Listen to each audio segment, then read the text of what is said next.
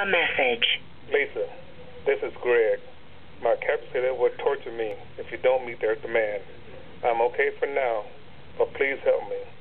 Lisa, you will hear more on Monday.